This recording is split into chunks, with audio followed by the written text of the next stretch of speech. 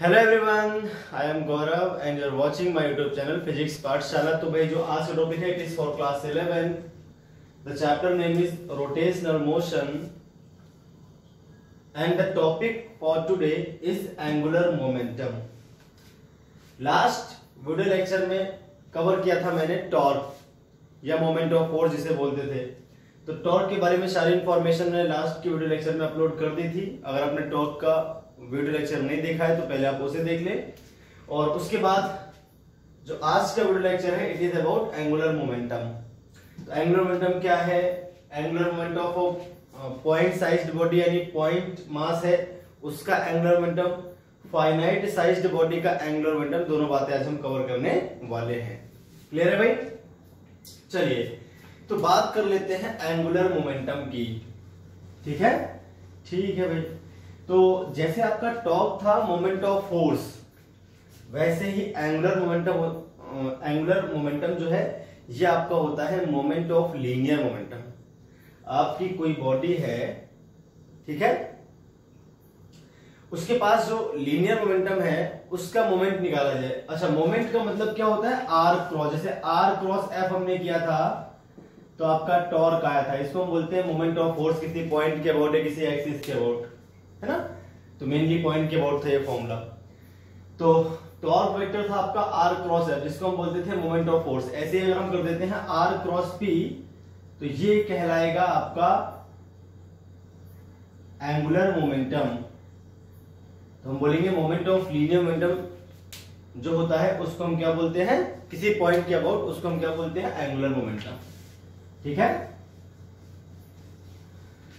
या फिर आप इस तरह से भी समझ सकते हो किसी बॉडी में कितना ज्यादा रोटेशनल मोशन है ये जो क्वालिटी डिफाइन करेगी वो है आपका एंगुलर मोमेंटम अगर एंगुलर मोमेंटम आपका ज्यादा है तो आपके अंदर ज्यादा रोटेशनल मोशन है लीनियर मोमेंटम जो था आपका वो ट्रांसलेशनल मोशन किसी बॉडी में कितना है इस बात को बता रहा था ऐसे जो आपका एंगुलर मोमेंटम है वो इस बात को बताता है किसी बॉडी में कितना रोटेशनल मोशन है ठीक है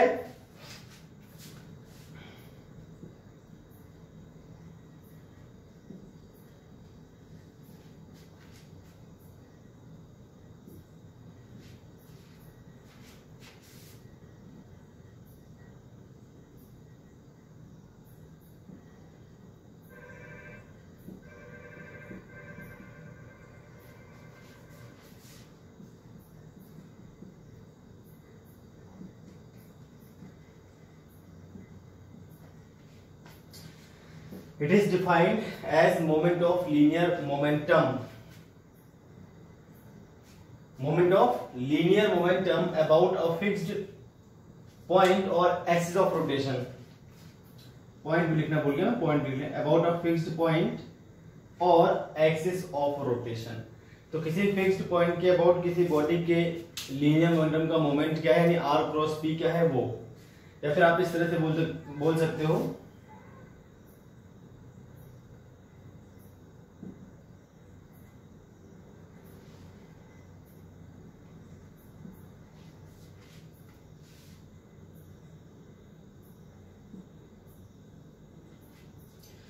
quantity of rotational motion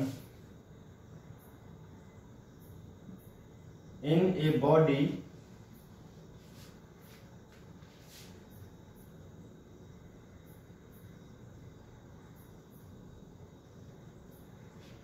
is measured by its angular momentum.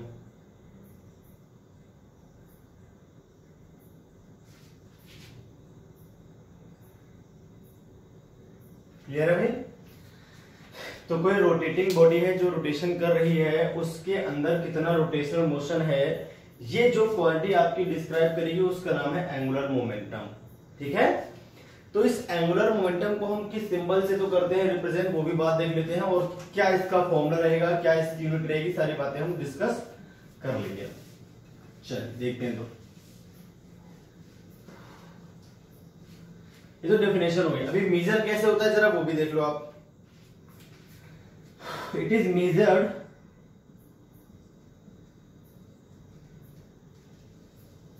by cross product of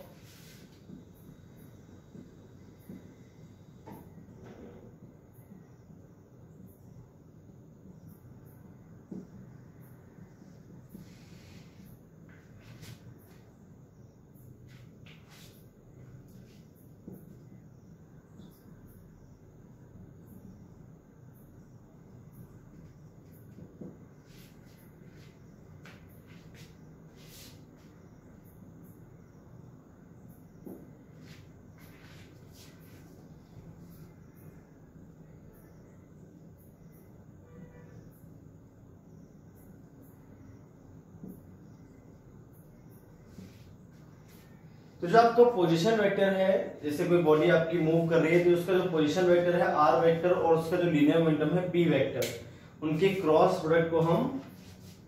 बोलते हैं एंगुलर मोमेंटम मतलब एंगुलर मोमेंटम का जो के जो फॉर्मूला आएगा मैथमेटिकल वो इससे आएगा l vector is equal to r vector cross p vector अभी आर क्रॉस पी क्या है वो आपको समझना है क्या तो आर है क्या तो पी चीज है ठीक है तो अब जरा ध्यान से समझो मैं यहां पर फिगर आपके लिए बना देता हूं डेफिनेशन आपने नोट कर ली होगी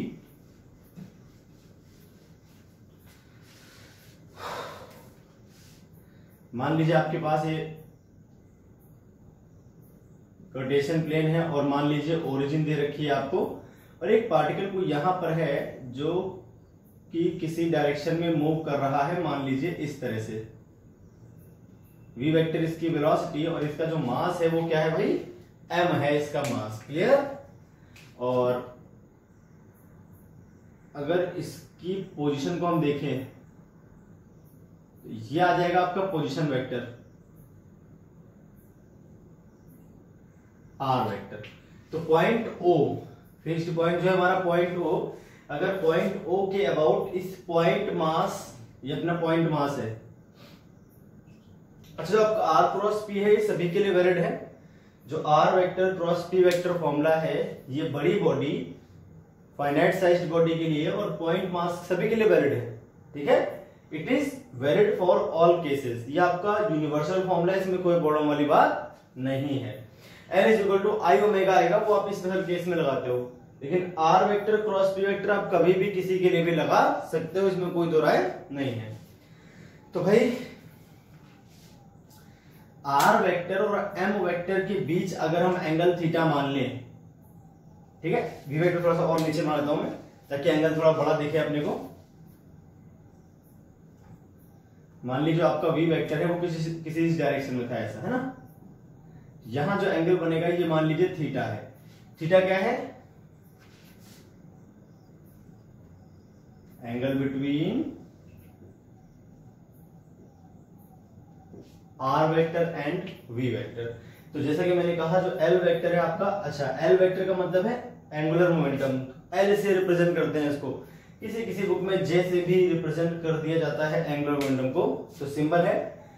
कोई टेंशन वाली बात नहीं है नाम आपको पता आप चाहे जे से रिप्रेजेंट कर लो चाहे एल से वो आपकी मर्जी है ठीक है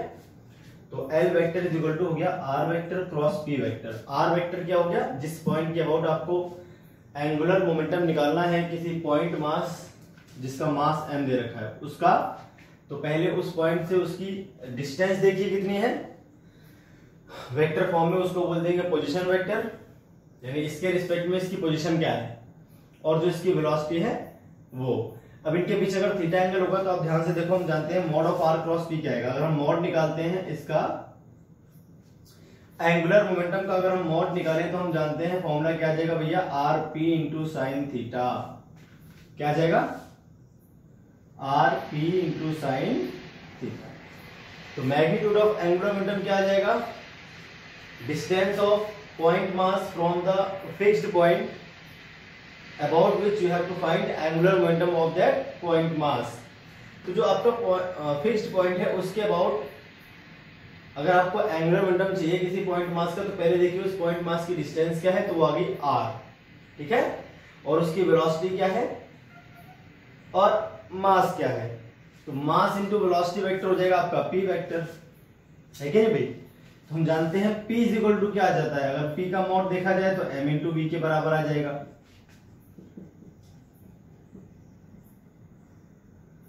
M V R sine theta तो ये भी आपके पास फॉर्मूला हो गया M into V into R into sine theta clear है जहां पर थीटा क्या है V vector and R vector के बीच का angle angle between R vector and V vector M into V into R into sine theta आपके पास फॉर्मूला आ गया बहुत इजी इसमें कुछ खास समझने समझाने का था नहीं बिल्कुल इजीली आपको बात समझ में आ गई होगी अब जरा कुछ और बातें भी समझ लेते हैं इस फॉर्मूले को थोड़ा सा और डिस्क्राइब कर लेते हैं इसी फॉर्मूले को हम और किस तरह से लिख सकते हैं तो अगर इसी फॉर्मूले को देखें तो हम इस तरह से भी लिख सकते हैं देखिए मेरी बात ध्यान से समझिए आप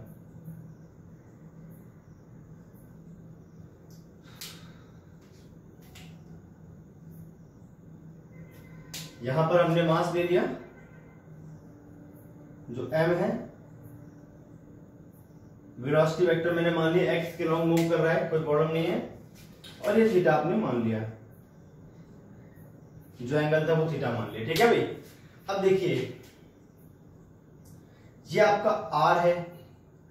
ये एंगल थीटा है तो यहां पे क्या बन जाएगा भाई थीटा बन जाएगा करेस्पॉन्डिंग एंगल अगर इसको मैं ऐसे ड्रॉ कर दूं परपेंडिकुलर ठीक है भाई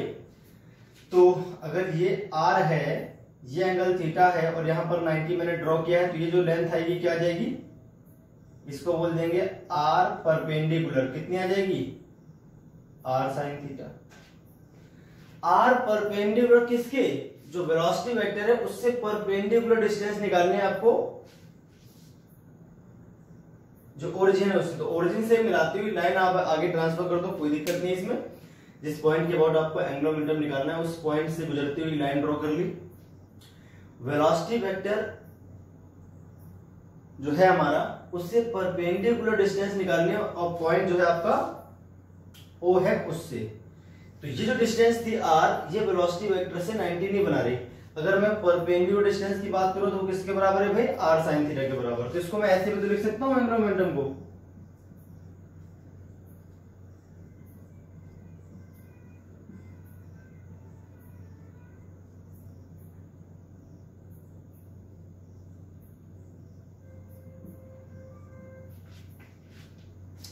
यानी जो वेलोसिटी वेक्टर है उसके परपेंडिकुलर डिस्टेंस कितनी है उससे 90 डिग्री का एंगल बनाते हुए जो डिस्टेंस आएगी फ्रॉम द पॉइंट ओ वो आपकी कहलाएगी आर परपेंडिकुलर ठीक है तो वेलोसिटी से 90 डिग्री के एंगल पर अगर आपने डिस्टेंस निकाल दी है तो आप सीधे आर परपेंडिकुलर भी लगा सकते हो कोई दिक्कत वाली बात नहीं है तो इसकी वैल्यू अगर आपको पता है सीधे आप ये आंसर लगा दो आर मतलब वी और आर अगर आपस में नाइन्टी बनाते हैं सीधे फॉर्मूला आ जाएगा एम कोई प्रॉब्लम वाली बात नहीं है क्लियर है भाई अब इसको एक और तरह से आप समझ सकते हो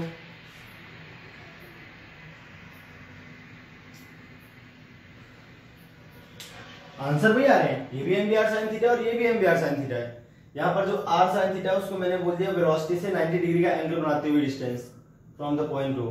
clear है मान लीजिए आपके पास यहां पर ऑब्जेक्ट है वी वेलोसिटी से मूव कर रहा था और ये आपके पास था आर वैक्टर ये क्या था भाई आपके पास आर वैक्टर क्लियर है यहां जो एंगल हमने लिया था वो आपका थीटा था अब हम करेंगे इस वी वेक्टर के दो कंपोनेंट एक तो वी वेक्टर कंपोनेंट हम कर लेंगे यहां पे और एक कर लेंगे इससे 90 डिग्री पे ये वी है तो यह आ जाएगा आपके पास V cos theta and this will be V sine theta ये क्या देगा वी साइन थीटा और वो क्या आ गया भाई वी कॉस थीटा अब अगर हम देखें आर वेक्टर के अलोंग जो कंपोनेंट है वी कॉस थीटा तो आर वेक्टर और वी कॉस थीटा के बीच तो एंगल जीरो है तो उसकी तो वैल्यू जिसका एंगल मोमेंटम है वो तो जीरो हो जाएगा M into V into R और अगर हम वी कॉस थीटा जो कंपोनेंट है हमारा वेलोसिटी देखिए वी कॉस थीटा इस तरफ है और आर वेक्टर भी इस तरफ है दोनों पैरल कैंसिल हो गए और जो वी साइन थीटा कॉम्पोनेंट है ये तो आर से 90 बनाता है कि नहीं बनाता है ना भाई 90 बना रहा है तो हम इस तरह से भी तो समझ सकते हैं कि जो v कॉस सीटा है उसका एंगुलर मोमेंटम तो जीरो हो गया और जो बी साइन सीटा उसका ही एंगुलर मोमेंटम निकल के आ रहा है L vector M into R को बाहर लिख दीजिए बी साइन सीटा को अंदर लिख दीजिए इसको हम बोलेंगे M into R V perpendicular मतलब अगर पोजीशन वेक्टर के परपेंडिकुलर वेलोसिटी पता है तो सीधे उनका मल्टीप्लाई कर दीजिए और मास से mass into this distance multiply this velocity तब भी आपका आंसर वही आएगा mass into velocity multiply this distance तब भी आपका आंसर वही आएगा मास आर और वी और इनके बीच का एंगल आप पुट कर दो तब भी आपका आंसर वही आएगा तो जो भी आपको आसान लगे आप उससे कर सकते हो मेनली जो फॉर्मुला यूज होता है नाइनटी नाइन परसेंट ही होता है आपके पास नाइनटी फाइव से नाइनटी परसेंट आपका ही होगा ये बहुत कम केसेस में होगा यूज लेकिन कभी कभी इसका यूज हम कर सकते हैं इजी जब हमको लगेगा किसी भी क्वेश्चन में तो हम इसका भी इस्तेमाल कर सकते हैं तो इन तीनों फॉर्मुले में से जो भी इजीली आपको दिखता हो फिगर में उस फॉर्मुले का आप यूज कर सकते हो आपका आंसर सेम आना है कोई दिक्कत वाली बात नहीं है तो M V R sine theta या एम वी आर पर पेंडिकुलर किससे वेलोसिटी वेक्टर से या फिर एम इंटू आर वी पर पेंडिकुलर किससे पोजिशन वेक्टर से क्लियर होगी बात तो इस तरह से आप इजिली आंसर निकाल सकते हो ये आपका जो था ये पॉइंट मास का एंगुलर मोमेंटम था किसी फिक्स्ड पॉइंट के about it is the angular momentum of point mass about a fixed point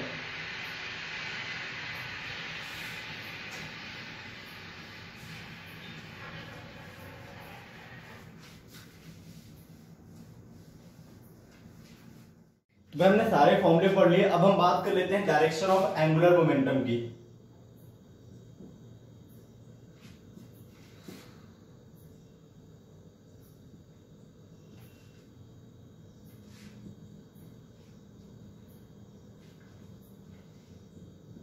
तो आपको तो एक बात ध्यान रखनी है direction of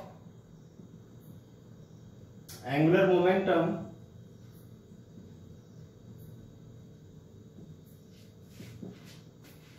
is determined by right hand thumb rule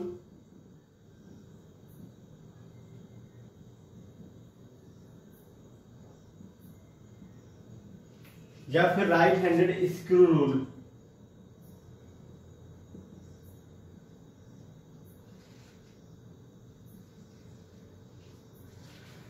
ठीक है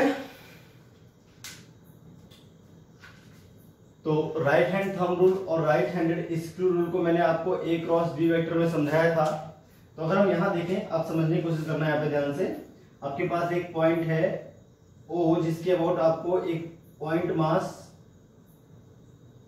जिसकी वेलोसिटी वी वेक्टर है इसका मास एम है का आपको एंगुलर मोमेंटम निकालना है और इस पॉइंट से अगर इस पॉइंट ओ से इस पॉइंट मास को मिलाया जाए तो जो पोजिशन वैक्टर आ रहा है वो आर वैक्टर है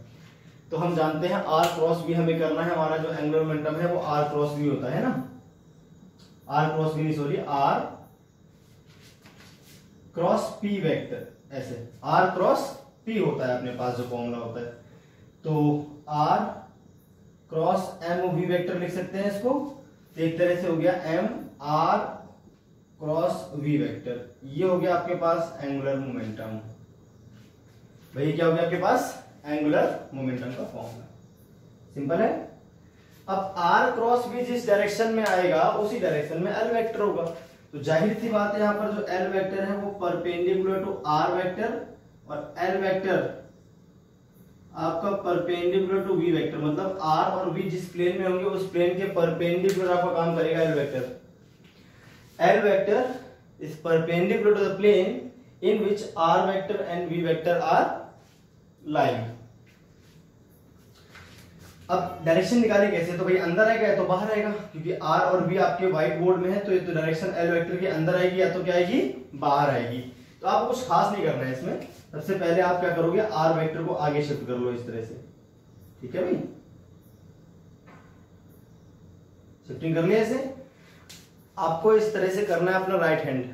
thumb and fingers आपस में परपेंडिकुलर हो इस तरह से आप कर लो इसको ठीक है और जो आपका आर है उसके पैरेलल कर देनी है फिंगर इस तरह से और वी वे की तरफ मोड़ देनी है और अंगूठा बाहर खोल देना है तो अंगूठा जिस डायरेक्शन को बताएगा हम आपका बता रहे हैं अंदर की तरफ है ना अगर ऐसे आर के पैरल रख उंगलियां और वी की तरफ मोड़े ठीक है इस तरह से अंदर की तरफ डायरेक्शन आपकी आएगी इनवर्ड डायरेक्शन इसको बोलते हैं राइट हैंड थंब रूल ठीक है और स्क्रू देखा जाए स्क्रू को आप उन उस पॉइंट पर जहां पर आर और वी की टेल मिल रही है राइट हैंड वाले स्क्रू को और आपने करना क्या है भाई आर से वी की तरफ घुमाना है आर से वी की तरफ ऐसे तो है आर से वी इस तरफ ऐसे कर घुमाइए इस तरह से करोगे आप पेचकस को तो अंदर की तरफ जाएगा वो स्क्रू को और इस तरह से करोगे ऐसे करोगे तो बाहर की तरफ आता है एंटी क्लॉकवाइज घुमाने पर बाहर आता है क्लॉकवाइज घुमाने पर अंदर जाता है तो आर से वी अगर क्लॉकवाइज मिल रहा है मतलब अंदर की तरफ डायरेक्शन है और आर से वी अगर एंटी क्लॉकवाइज मिलेगा तो बाहर की तरफ डायरेक्शन होगी बिल्कुल सिंपल रूल बता रहा हूं मैं आपको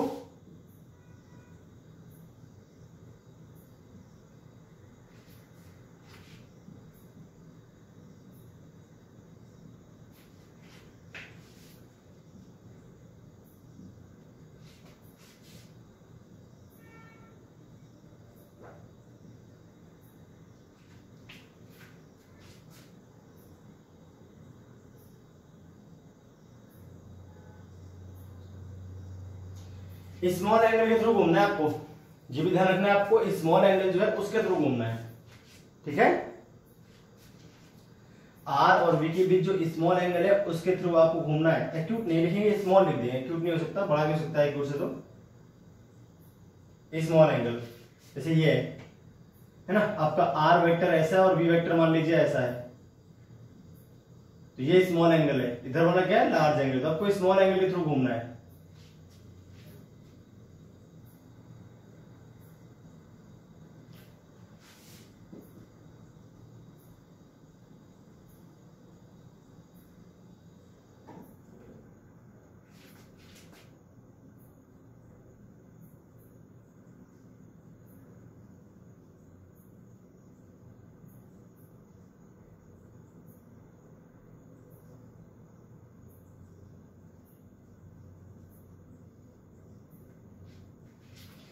इनवर्स के सिंबल होता है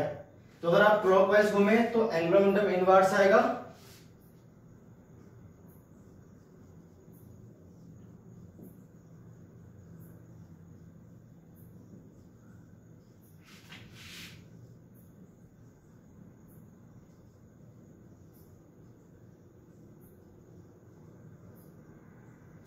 तो एंगुलर मोमेंटम आपका आउटवर्ड्स आएगा क्लियर है भाई देखिए इस तरह से अब पहले समझ लो ध्यान से वरना आप राइट हैंड से भी कर सकते हो कई केस में आपको दिखाता हूं मान लीजिए ये आपका आर वेक्टर है ये आपका मान लीजिए वी वेक्टर है एक पार्टिकल है ठीक है हाँ, इस तरह से तो आर वेक्टर आपका मान लीजिए इस तरफ है वी वेक्टर ऐसा है इसको पहले आप ऐसे मिला दो अब आप कैसे घूम रहे हो आर से बी की तरफ घूमना है तो क्लॉकवाइज घूम रहे हैं एंगुलर मोमेंटम कैसा आएगा भैया इनवर्ड कैसा आएगा इनवर्ड आ जाएगा है ना मान लीजिए एक पार्टिकल है जो इस डायरेक्शन में जा रहा है और मान लीजिए यहां पर पॉइंट जिसके अबाउट निकालना है आपको ये हो गया मान लीजिए आपका आर वेक्टर है ना तो आर वेक्टर को पहले ऊपर की तरफ शिफ्ट करिए क्योंकि ऐसे शिफ्टिंग शिफ्टिंग करते हैं इसके तुरंत दोनों के टेल को पहले एक जगह पर करना है उसके बाद ही घूमना है ये ध्यान रखना ठीक है अब ऐसे घूम रहे हो आप ऐसे घूमने का मतलब कैसा है एंटी क्लॉकवाइज एंटी क्लॉकवाइज इस केस में एंगुलर मोमेंटम कैसा आएगा भैया आउटवर्ड्स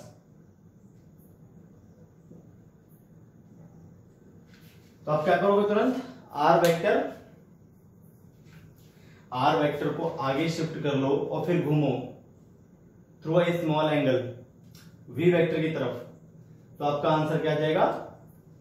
आउटवर्ड ठीक है ऐसा राइट हैंड से देखिए आर वेक्टर के पैरल उंगलियां वी वेक्टर तरफ घुमा दीजिए डायरेक्शन आ रही है बाहर की ओर तो चाहे तो आप राइट हैंड रूल से भी कर सकते हो चाहे तो सिंपल ट्रिक है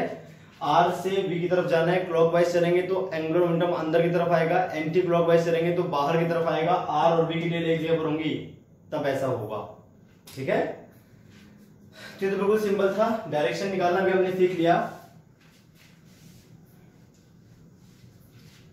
यूनिट वगैरह तो आप बहुत इजीली निकाल सकते हो यूनिट क्या आ जाएगी एल का फॉर्मूला होता है M V R into sine theta इसका फॉर्मूला होता है तो यूनिट देखें क्या आ जाएगी इसकी एम के लिए किलोग्राम वी के लिए मीटर पर सेकेंड और आर के लिए मीटर तो kilogram metre square per second क्या हो गई इसकी यूनिट हो गई kilogram metre square per second या फिर इसको हम बोल सकते हैं joule into second joule second भी एंगुलर मोमेंटम का ही है एसआई में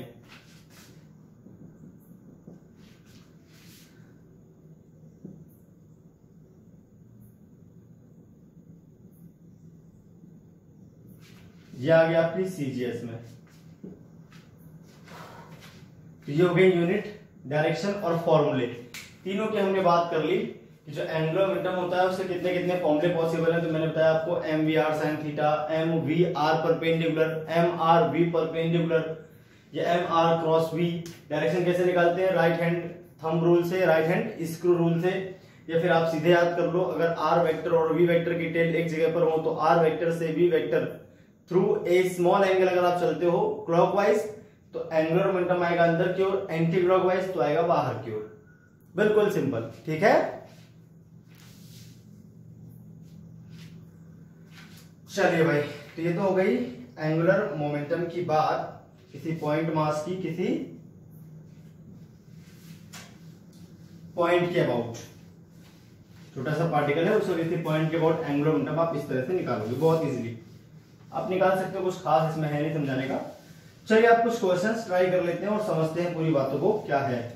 एंग्लोमेंटम की कहानी ठीक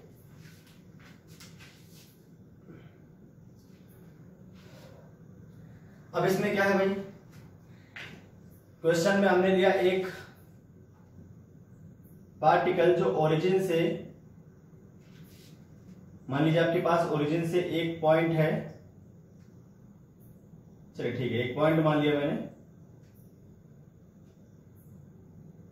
फोर कॉमा थ्री की डिस्टेंस पर एक पॉइंट कहां पर है भाई फोर कॉमा थ्री की डिस्टेंस पर एक पॉइंट है मतलब एक पार्टिकल है आपका जो जिसके कोऑर्डिनेट फोर कॉमा थ्री है फोर कॉमा थ्री कोऑर्डिनेट पर एक पॉइंट मास है हमारा जिसका मास तो दे रखा है one K G and its velocity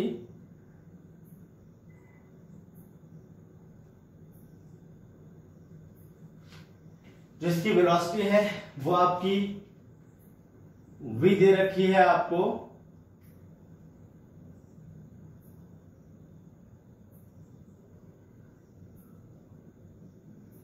ten metre per second ten नहीं ten root two metre per second दे रखी है ठीक है और यहां पर जो एंगल बन रहा है वो फोर्टी फाइव है यानी एक पार्टिकल है which is at four comma three ठीक है फोर कॉमन थ्री कोऑर्डिनेट है पॉइंट मास के उसकी जो वेलोसिटी है from horizontal it is at 45 degree and the value of its velocity is ten root two metre per second and the mass of particle is 1 kg अब आपको करना है find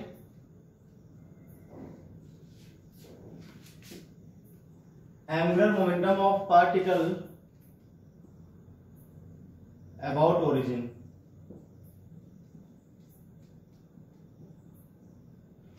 ठीक है चलिए भाई सॉल्यूशन की बात कर लेते हैं देखिए आपके पास जो एल वेक्टर है वो R vector cross P vector है आपको पता है बहुत इजीली तो आप क्रॉस प्रोडक्ट अगर जानते हो तो वहां से भी कर सकते हो इसके अलावा आपके पास एम वी आर पर पेंडिकुलर या एम आर वी पर पेंडिकुलर भी फॉर्मूला है आप वहां से भी इजिली कर सकते हो इसमें कोई दिक्कत वाली बात नहीं है क्लियर भाई चलिए देखते हैं समझते हैं क्या कहानी बनेगी इसकी अगर मैं इसको मिलाता हूं इस जगह से ऐसा तो यह आ जाएगा आपके पास आर वेक्टर भैया क्या आ जाएगा आपके पास आर वेक्टर ठीक अच्छा आर वेक्टर और वी वेक्टर सेम डायरेक्शन में नहीं है वो आपको लग रहे होंगे मैंने एक ही लाइन सीधी खींच दी सेम डायरेक्शन में लग रहे पर ये सेम डायरेक्शन में है नहीं ये बात आपको ध्यान रखनी है ये फोर कॉमा थ्री पॉइंट के कोऑर्डिनेट थे आपका वी मान लीजिए कुछ इस तरह से है फोर्टी फाइव डिग्री पे है ना अलग डायरेक्शन में दिखा दिया मैंने थोड़ा सा ताकि आपको कंफ्यूजन ना हो आर वेक्टर अलग डायरेक्शन में है और वी वेक्टर आपका अलग डायरेक्शन में है तो अगर मैं सिर्फ आर वेक्टर की बात करूं चूंकि जो पॉइंट है जिसका ये पोजिशन वेक्टर है वो फोर कॉमा थ्री है तो आर वेक्टर आपका सीधा आ जाएगा four I cap plus three J cap बिल्कुल सिंपल है और वेलोसिटी वेक्टर देखी जाए तो वेलोसिटी वेक्टर आपका 45 डिग्री पर है जिसकी वैल्यू है आपकी कितनी टेन रूट टू एक कॉम्पोनेंट आ जाएगा वी एक्स जो आ जाएगा सीधे ten root two into cos forty five का मतलब वन बाई रूट टू तो टेन आ जाएगा ऐसे आपका वी आ जाएगा साइन फोर्टी फाइव भी वन बाई टू होता है तो ये भी आ जाएगा टेन ये हो गया आपका वी वाई तो वी वेक्टर क्या गया ten I cap plus ten J cap अब एंगुलर मोमेंटम एल वेक्टर क्या होता है R vector cross P vector है ना आर वेक्टर की value four I cap plus three J cap cross लगा दे पी वेक्टर क्या होता है M into V vector M कितना है वन के जी है ना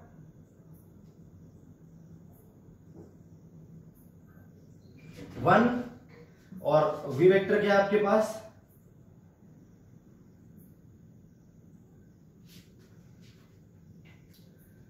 पी वेक्टर आपका एम टू बी एम हालांकि आपका वन है तो जो वी वेक्टर आएगा वही पी वेक्टर भी है क्योंकि एम का मास की वैल्यू तो वन है यहाँ पे अब क्रॉस कैसे करते हैं आपको ध्यान होगा आई का आई से जीरो आता है है ना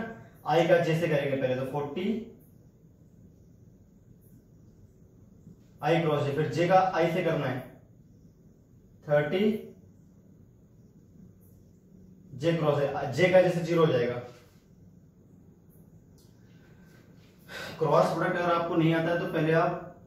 वीडियो लेक्चर देखिए जिसमें मैंने वेक्टर में क्रॉस प्रोडक्ट आपको पढ़ा रखा है तो आई क्रॉस जे आपका हो जाता है के के बराबर आई क्रॉस जे क्या होता है के के बराबर इस तरह से ऑर्डर में लिख लेते हैं यहां लिख दिया आई फिर जे फिर के क्लॉक वाइज लिख दिया मैंने तो जो सीरियल में आएगा वो तो प्लस में आई मल्टीप्लाई जे करेंगे तो क्या आएगा के क्रॉस आई करेंगे तो जे आएगा जे क्रॉस के करूंगा तो आई आ जाएगा ठीक है सेम ऑर्डर में चलना है आपको अभी अगर जे क्रॉस आई करोगे तो माइनस के उल्टा चलना है तो माइनस के क्लॉक वाइज चलेंगे तो प्लस एंटी वाइज चलेंगे तो माइनस कर लेंगे हम ठीक है तो आई क्रॉस जे आई का जैसे करेंगे तो क्या मिल जाएगा प्लस का प्लस और जे क्रॉस आई करूंगा जे क्रॉस आई उल्टा चलना पड़ेगा तो माइनस के मिल जाएगा आंसर क्या आ जाएगा टेन के कैप एल वेक्टर क्या आ गया अपने पास टेन के कैप मतलब जो एंगुलर मोमेंटम है वो जेड एक्सिस के अलोंग है जिसकी वैल्यू कितनी है टेन है तो इस तरह से आपका आंसर आ जाएगा ठीक है बिल्कुल सिंपल है इसको आप अल्टरनेट तरीके से भी देख सकते हो अगर आप इस तरह से नहीं करना चाहो तो एक अल्टरनेट भी मैं आपको सिखा देता हूं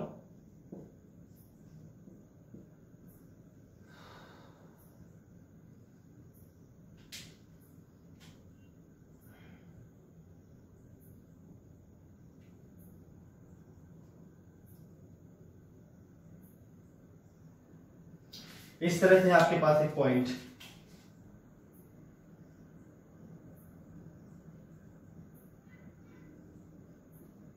भैया था आपके पास आप क्या करोगे वेलोसिटी के दो कंपोनेंट कर लोगे एक हो जाएगा आपका वी एक्स एक हो जाएगा आपका वी वाई अगर वी वाई को मैं इस तरह से बढ़ा लू आगे ठीक है तो यहां जो कंपोनेंट आ रहा है इस तरह से ये आपका आर एक्स है वो वी वाई से 90 बना रहा है अरे कितना बना रहा है वी वाई से 90 बना रहा है और इस वी एक्स को अगर मैं पीछे बढ़ाता हूं इस तरह से मान लीजिए मैंने पीछे बढ़ा दिया ऐसा ठीक तो यहां पर एक डिस्टेंस आएगी ये जो कि आर वाई कहलाएगी अगर ये आर वैक्टर है बीच में यहां पर जो कंपोनेंट आएगा वो आर एक्स यहां पर जो कंपोनेंट आएगा वो आर वाई तो आर वाई जो है आपको 90 बना रहा है किससे वी एक्स से सॉरी वी वाई से आर वाई बना रहा है वी एक्स से नाइनटी और वी वाई से नाइनटी बनाता है आर एक्स तो हम यहां फॉर्मला यूज कर लेंगे M V into R perpendicular इससे करके देखते हैं क्या आंसर आने वाला है है ना देखते हैं कैसे आएगा आंसर तो अगर हम ध्यान से देखें हमारे पास एक तो वी वाई वैक्टर है और कुछ दूरी पर यहां पर अपने पास पॉइंट ओ है आर एक्स दूरी पर ये आपका पॉइंट मास है ये तो है तो वी वाई को आप पीछे बढ़ा दो तो वी वाई से 90 बनाता हुआ आर एक्स है है कि नहीं तो आर एक्स क्या है वी वाई के परपेंडिकुलर सीधे सीधे और वी एक्स और वी वाई दोनों की वैल्यू टेन टेन आएंगे आपको पता है आर एक्स आपका फोर है और आर वाई आपका थ्री है पॉइंट फोर कॉमा थ्री था ना आर एक्स फोर और आर वाई थ्री तो यहां से आपका जो एल आएगा इस केस के लिए वो कितना आएगा मास तो वन मास क्या हो गया वन वी कितना है वी बाई दस मल्टीप्ले आर एक्स कितना है फोर अब देखिए आर क्रॉस बी करते हैं तो आर इस तरफ है ऐसे भाई इसको पहले आगे शिफ्ट करो दोनों टेल मिला दो ऐसे घूमो एंटी है मतलब बाहर की तरफ डायरेक्शन है इस एंगुलर मोमेंटम डायरेक्शन कैसी आएगी आउटवर्ड ये सिंबल आउटवर्ड के लिए है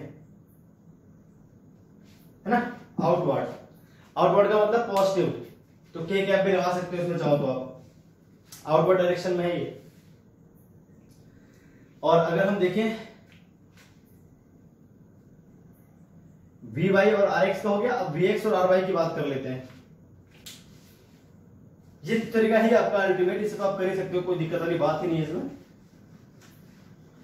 सिर्फ आपसे वैल्यू पूछा था तो उस तरह से भी कर सकते हो इसमें आपको समझा रहा हूं अभी इस तरह से भी आप कर सकते हो उसमें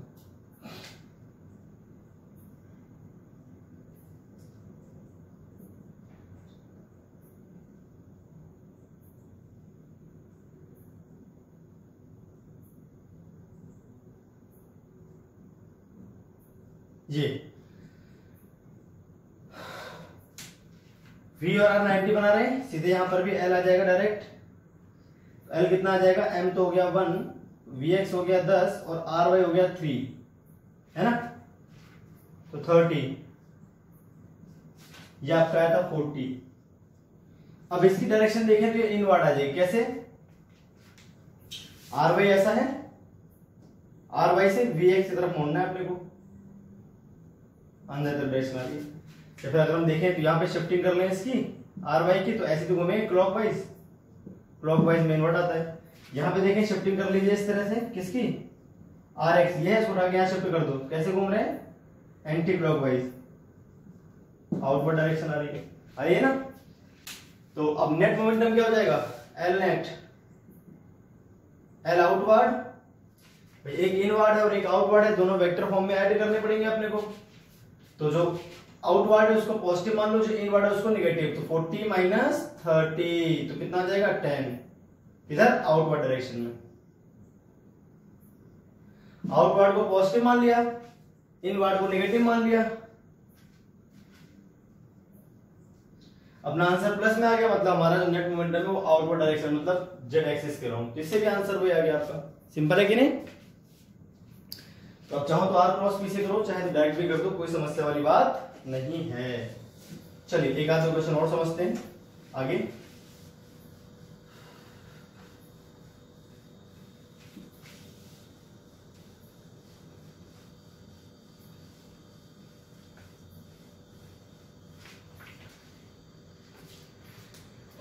एंगुलर की बात हो गई एक क्वेश्चन भी कर लिया हमने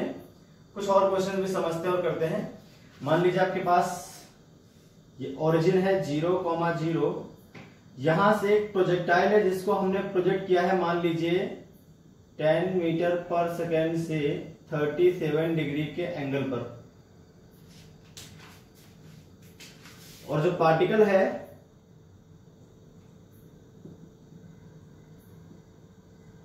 इसका मास 10 के है ठीक है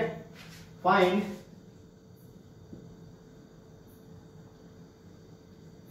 angular momentum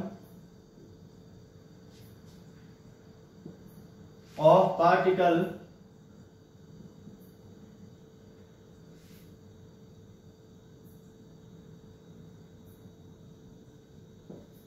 about origin when it will be at its highest point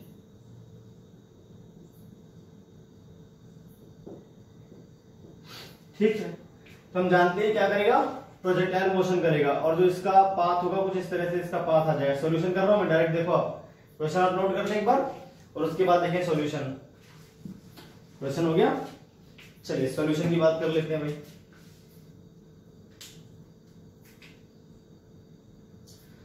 ये हो गया आपका मैक्सिमम हाइट कैपिटल एच है ना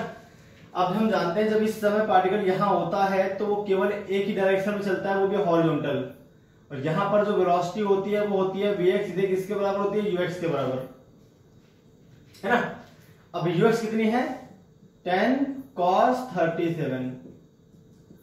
cos thirty seven four by five तो कितना आ जाएगा एट आ जाएगा ठीक भाई अरे कंपोनेंट कर लो भाई ये आपका यू दे रखा है एक कंपोनेंट यहां पर आएगा एक कंपोनेंट यहां पर आएगा इसको बोलेंगे U by U sine thirty seven ये आ जाएगा आपके पास U X U cos thirty seven ten into four by five आ आगे आ गया ना तो वी एक्स मतलब अब आपको जो निकालना है इस समय पे निकालना है स्टार्टिंग का नहीं निकालना जब पार्टिकल हाईएस्ट पॉइंट पे तब निकालना है आपको अब आप देखो कि जो वेलोसिटी है और जो पॉइंट ओ है अगर वेलोसिटी को हम पीछे तरफ बढ़ाते हैं इस तरह से है ना इसको मिटा दो यहां से जो फालतू लिखा हुआ है अब इनकी जरूरत तो है इनको हटा दो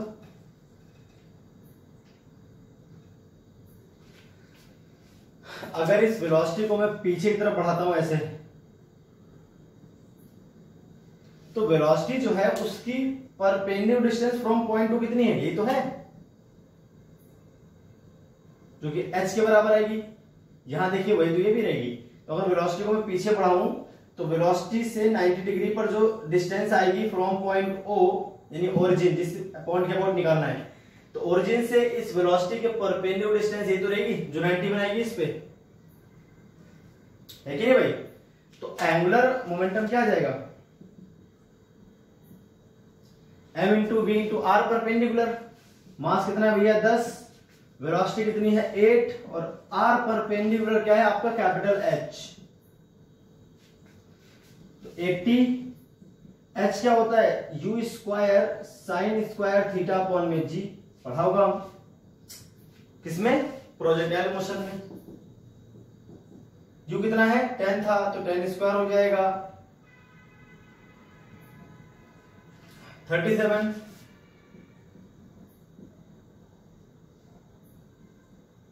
तो टेन से टेन कट जाएगा eight hundred sine thirty seven three by five two nine by twenty five sine thirty seven क्या होता है three by five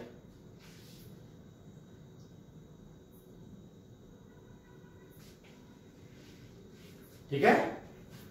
thirty two multiply nine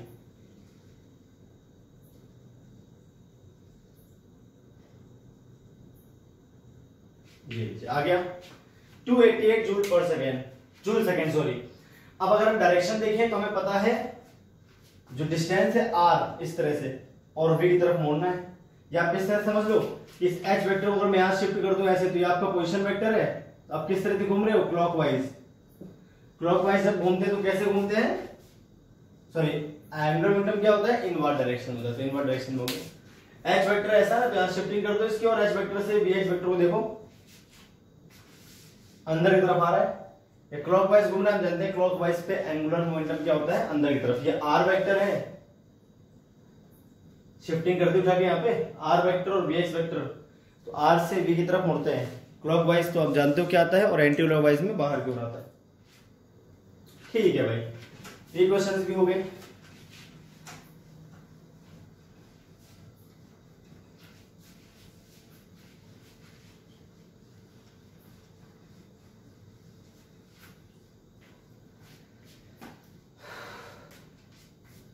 छोटी मोटी और बातें वो भी समझ लेते हैं एक और क्वेश्चन देखो जरा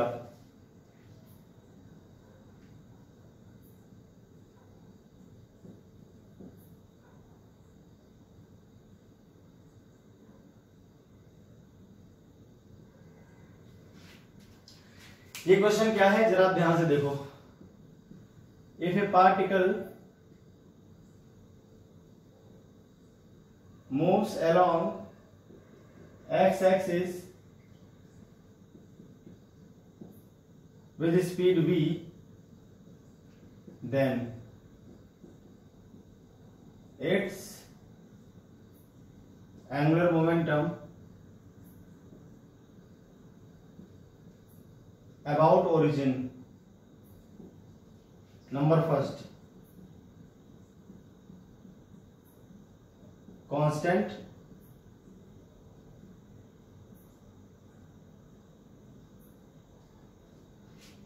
a changes in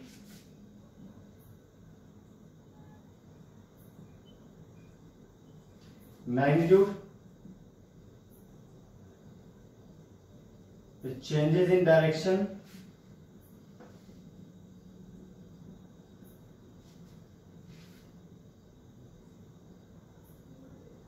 ठीक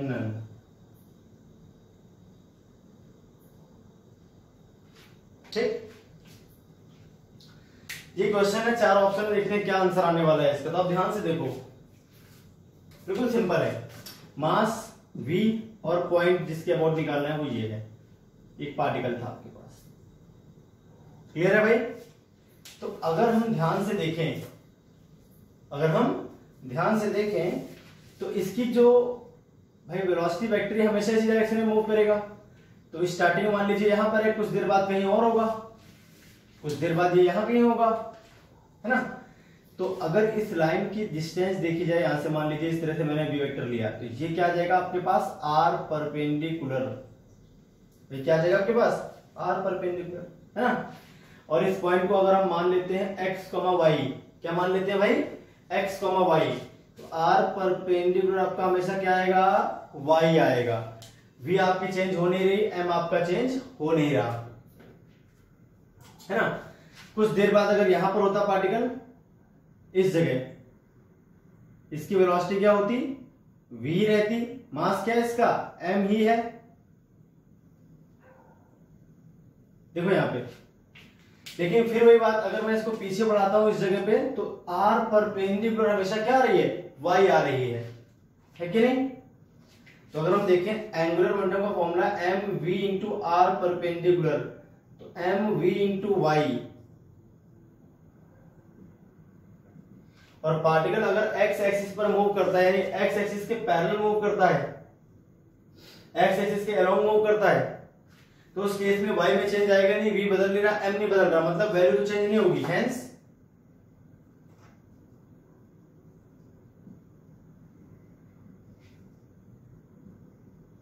फिक्स्ड मैग्नीट्यूड क्या आपका फिक्स्ड है वो नहीं बदल रहा देखो ये डिस्टेंस बदल रही है तो इनके बीच का एंगल भी भाई डिस्टेंस यहां थी तो एंगल ज्यादा था डिस्टेंस ये आएगी तो एंगल कम हो जाएगा आपका आपका एंगल भी बदल रहा है घबराने की जरूरत नहीं कही होगी दिमाग में ये तो आर बदल रहा है आर बड़ा हो रहा है एंगल छोटा हो रहा है आर बढ़ेगा थीटा छोटा हो जाएगा आपका आंसर फिर वही आ जाएगा तो आपने इसको कैसे करना है v इसकी v को पीछे मिला है और इसकी v को पीछे मिला है तो y वही आ रही है मास वही है स्पीड वही है और y हमेशा कांस्टेंट है जब भी पार्टिकल x के लोग चलेगा तो y तो चेंज होगा नहीं y तो फिक्स हो गया ना यहां पर क्या आ जाएगा भाई x कमा y है तो ये पॉइंट हो जाएगा आपका x dash comma y y तो फिक्स ही है y थोड़ी बदल रहा है y तो वही रहेगा ना इसका ये इसके लिए भी और इसके लिए भी तो y कभी नहीं बदलेगा आप कितने भी आगे जाओ सिर्फ आपका x बदलेगा और एंगुलर मोमेंटम में x वाई तो आया नहीं एक्स नया मतलब क्या चीज है फिक्स्ड है अब अगर हम डायरेक्शन की बात करें तो ये आपका आर परपेंडिकुलर है यहां पर भी आपका आ जाएगा आर परपेंडिकुलर इस तरह से इसे उठा के यहां शिफ्टिंग कर दो ये ये दोनों क्लॉकवाइज घूम रहे हैं जब पार्टिकल यहां तब भी क्लॉकवाइज अब यहां है तब भी क्लॉकवाइज तो दोनों ही कंडीशन में जो आपका एंगुलर मोमेंटम में डायरेक्शन भी क्या है उसकी फिक्स्ड है यहां पर एंगुलर मोमेंटम कैसा आएगा इनवर्ड यहां पर भी एंगुलर मोमेंटम कैसा आएगा inward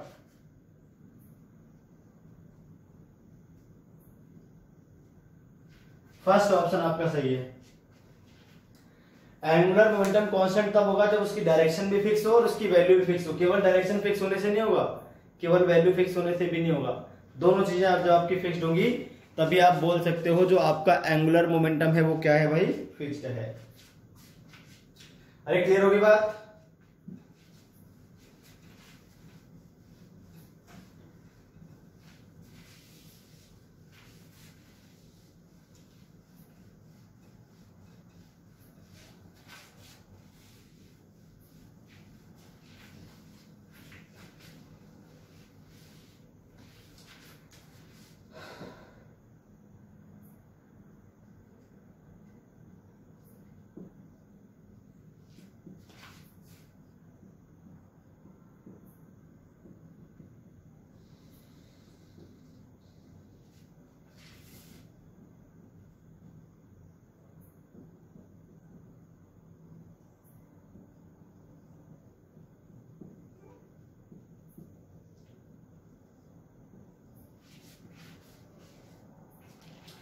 angular momentum of a particle executing uniform circular motion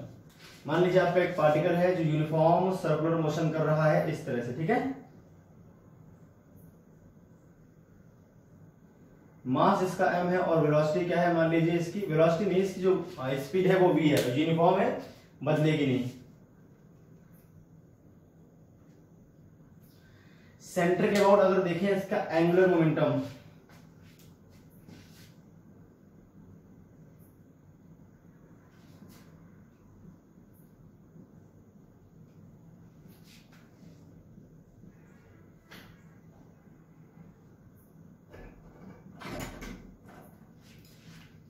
angular momentum जो आएगा about its centre about its centre देखिए भाई ये हो जाएगा पोजीशन वेक्टर आपका है ना जिसकी जो वैल्यू है वो कितनी आएगी रेडियस के बराबर वैल्यू क्या जाएगी रेडियस के बराबर क्लियर है भाई तो यहां से अगर हम देखें angular momentum M V R perpendicular तो M V into capital R हो जाएगा एम वी आर आपका आंसर आता है चाहे आप किसी भी पोजीशन पे हो कोई फर्क नहीं पड़ता आप किसी भी पॉइंट पर आपको हमेशा एम वी आर आंसर है क्यों मान लीजिए पार्ट में घूमते घूमते यहां पर आ गया तो वेलोसिटी इस डायरेक्शन में हो जाएगी पोजीशन वेक्टर आपका ऐसा हो जाएगा उस केस में ये भी रेडियस के बराबर है इस केस में भी आंसर क्या आएगा M B R mass particle का वही है वो थोड़ी ना बदल गया है ना अगर पार्टिकल क्लॉकवाइज करेगा रोटेशन तो अंदर की तरफ कैसे आर वेक्टर ऊपर की तरफ है देखो ऐसा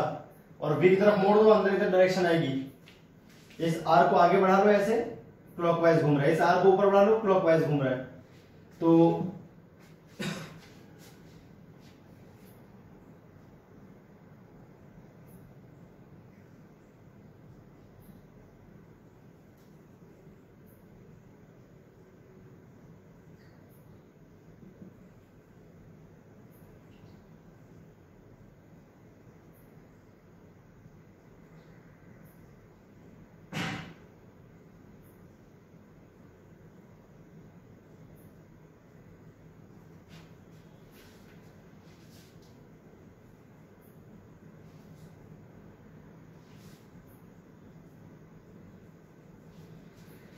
पार्टिकल अगर रिवॉल्व कर रहा है क्लॉकवाइज तो आपका जो एंगुलर मोमेंटम है वो इनवर्ड डायरेक्शन में होगा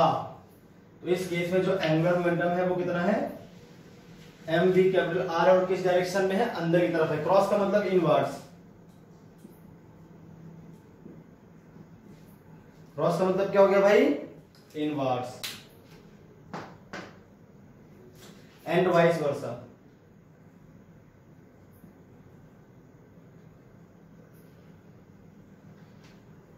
और इसका उल्टा हो जाएगा अगर एंटी क्लॉकवाइज घूम रहा है तो उस केस में आ जाएगा आउटवर्ड डायरेक्शन में क्लॉकवाइज घूम रहा है तो इन और एंटी क्लॉकवाइज घूमेगा तो आउटवर्ड डायरेक्शन में आपका आ जाएगा क्लियर है भाई ये आपका आंसर है fix M V capital R direct uniform circular motion कर रहा है तो और देखिए यहां पर भी एंगुलर मोमेंटम क्या है अंदर की तरफ है यहां पर भी मोमेंटम क्या है अंदर की तरफ है वैल्यू दोनों जगह फिक्स है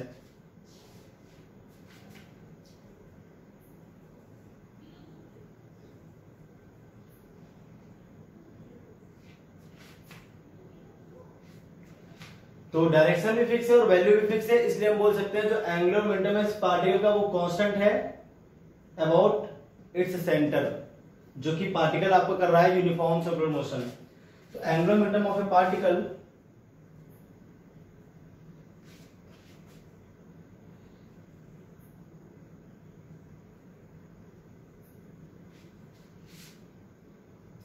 moving on a circular path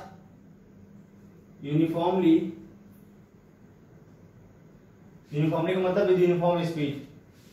with uniform speed कर लेता ना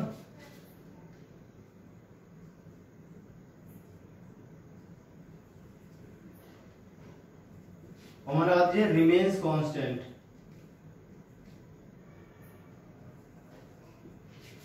एंगुलर मोमेंटम की ना तो डायरेक्शन बदलती है ना ही वैल्यू बदलती है जब आपका कोई पार्टिकल यूनिफॉर्म सर्कुलर मोशन कर रहा हो और उस पार्टिकल का आपने एंगुलर मोमेंटम निकाला किसके अबाउट सेंटर के अबाउट सेंटर के अबाउट जब आप पता करोगे तो इस तरह से आपका आंसर आ जाएगा भाई क्लियर है तो ये हो गया आपके angular momentum point of angular momentum आपका किसी पॉइंट के अबाउट किसी पॉइंट मास का यानी पार्टिकल का यहाँ पर पार्टिकल है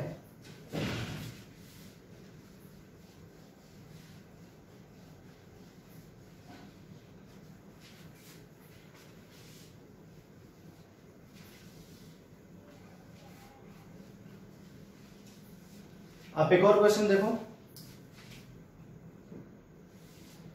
मान लीजिए आपका जो सर्कल है वो इस तरह से है जो सर्कल है आपका वो इस पे नहीं है सर्कल आपका मान लीजिए इस तरह से ऐसा सेंटर आ जाए इस पे और आधा बाहर आ जाए और आधा अंदर चला जाए मतलब अगर मैं इस तरह का बनाता हूं सर्कल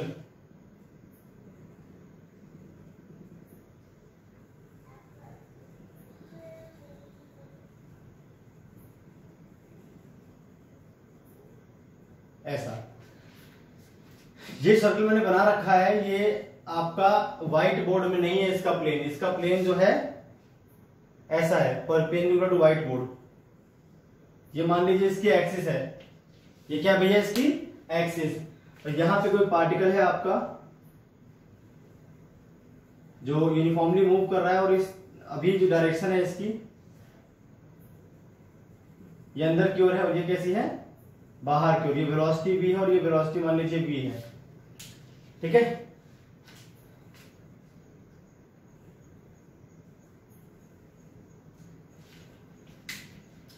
अब अगर मैं एक पॉइंट मान लेता हूं इस जगह पे point O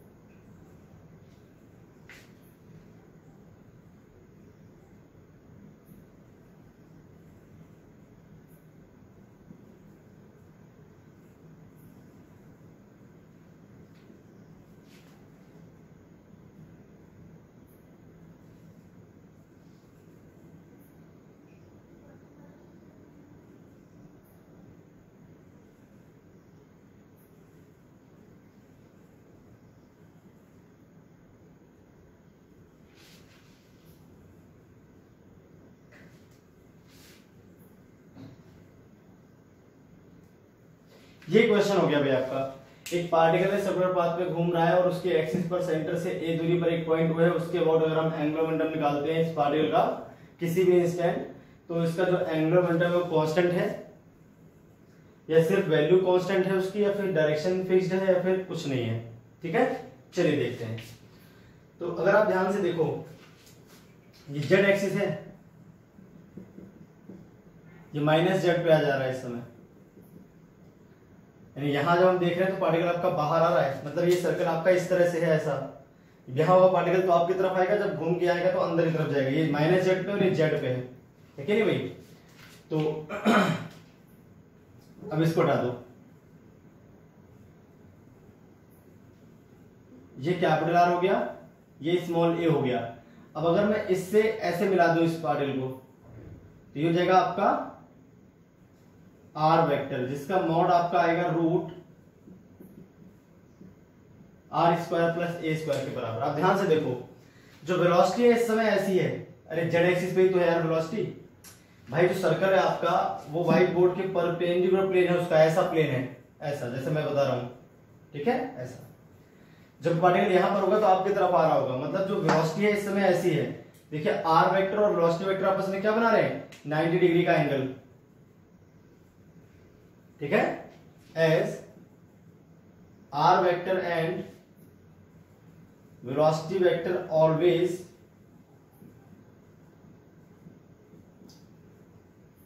perpendicular to each other hence जो आपका एल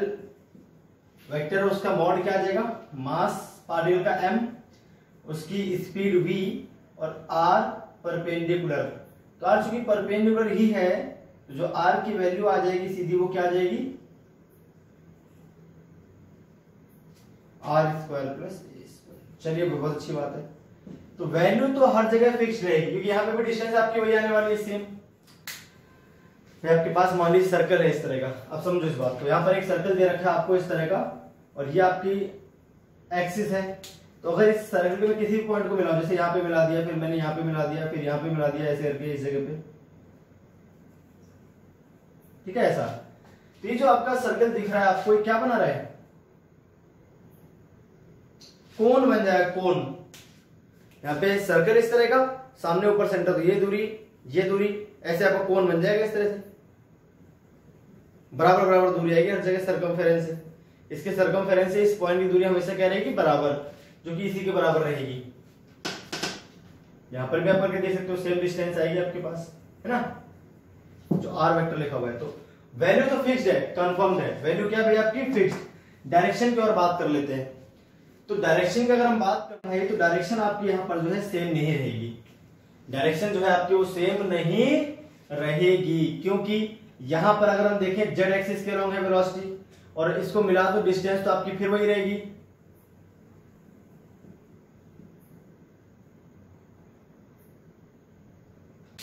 और वेलोसिटी जो है आपकी वो क्या है जेड एक्सिस के लॉन्ग दिखा रही है तो 90 डिग्री बना रहे हैं आपस में अरे वो जेड एक्सिस है जेड एक्सिस तो अंदर तरफ जाएगी ना तो हम जानते हैं जो एल वेक्टर होता है वो आर और बी दोनों पे 90 बनाता है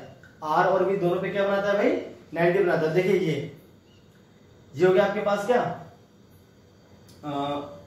राइट हैंड राइट हैंड से हम क्या करेंगे पहले तो हम पैरल कर देंगे किसकी उंगलियां इसके आर वैक्टर के और ऐसे अंदर तरफ मोड़ देंगे इस तरह से ऐसे पैरल किया और सॉरी बाहर की तरफ आ रहे हैं बाहर की तरफ आ रहे हैं मतलब आपको किस तरह से मोड़ना है ऐसे मोड़ना है पहले आप इसको ऐसे कर लें आर वेक्टर को ऐसा नीचे की तरफ ठीक है और बाहर की तरफ मोड़ दें बाहर की तरफ इसको मोड़ दीजिए तो डायरेक्शन जो आएगी वो आर वेक्टर से 90 बनाते हुए आएगी भाई ये तो जेड है ना देखो ये तो जेड है ऐसा इस तरह जेड हो गया वेक्टर जेड हो गया ये आपके पास आर वेक्टर है अगर इसको मैं ऐसे ले आऊं तो किस तरह से घूम रहा है ये घूम रहा है आपका क्लॉकवाइज वी जो मैंने बना रखा है जेड एक्सिस पर है थोड़ा आपको ध्यान समझने पड़ेगी बात वी क्या है जेड एक्सिस पर है है ना तो यहां जो डायरेक्शन आएगी एंगुलर मोमेंटम की वो इससे 90 बनाते हुए आएगी किससे आर वेक्टर से और जेड तो वैसे ही 90 है दोनों से ही तिरछा ऐसा आएगा है ना तो इसको तो आप तिरछा बना दो बाहर की ओर ऐसा जेड एक्सिस ये तो एंगुलर मोमेंटम जो आएगा अगर मैं अलग से फिगर बना के आपको दिखाऊं डायरेक्शन की बात कर रहा हूं सिर्फ मैं ये पॉइंट ओ है ये डिस्टेंस थी यहां पर सर्कल आपका इस तरह से ठीक है तो इससे 90 बनाते हुए डायरेक्शन आएगी इस पॉइंट पे यानी इसके लिए जब यहां पर होगा पार्टिकल डायरेक्शन ऐसी आएगी एल वेक्टर की इस वाले एक्सिस के परपेंडिकुलर 90 बनाते हुए यहां पर जो वेलोसिटी है वो तो आपके आउटवर्ड डायरेक्शन में है ही तो वेलोसिटी को आउटवर्ड में इस तरह से दिखा रहा हूँ सर्कल बनाते हुए आउटवर्ड बाहर की तरफ यह आएगा आपका एल वेक्टर पर जब आपको सेम फिगर में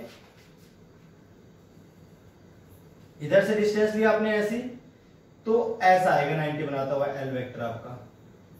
जब पार्टिकल यहां पर होगा आपके पास किस तरफ अंदर की तरफ होगी डायरेक्शन वेलोसिटी की वेलोसिटी आपके अंदर की तरफ है इनवर्ट डायरेक्शन में ये आपका आर वेक्टर था तो आपका इस तरफ आएगा एल वेक्टर 90 बनाता हुआ देखिए एल वेक्टर की डायरेक्शन फिक्स नहीं है अभी ऐसा है फिर ऐसा है है ना तो सिर्फ वैल्यू फिक्स है डायरेक्शन क्या है अलग अलग आ रही है डायरेक्शन क्या आ रही है भाई आपकी अलग अलग आ रही है तो यहां पर आपके पास आ जाएगा बी वाला ऑप्शन करेक्ट तो ये था भैया angular momentum of point mass already video से काफी लंबा हो चुका है तो अभी एंगुलर मोमेंटम के बारे में बहुत सारी बातें बच गई हैं मैंने आज जो एंगुलर मोमेंटम कवर किया है it is only about a point of a particle यानी किसी पार्टिकल का एंगुलर मोमेंटम निकालते हैं किसी पॉइंट के अबाउट तो आपका इस तरह से निकालना है क्वेश्चन मैंने कुछ आपको करवा दिए अब मैं आपको नेक्स्ट वीडियो लेक्चर में करवाऊंगा angular momentum of a finite size body और कंजर्वेशन ऑफ एंगुलर मोमेंटम तो आज का जो वीडियो लेक्चर है काफी लंबा हो चुका है तो बाकी जो बातें हैं नेक्स्ट वीडियो लेक्चर में कवर करूंगा आज के लिए इतने फिर मिलते हैं नेक्स्ट वीडियो लेक्चर में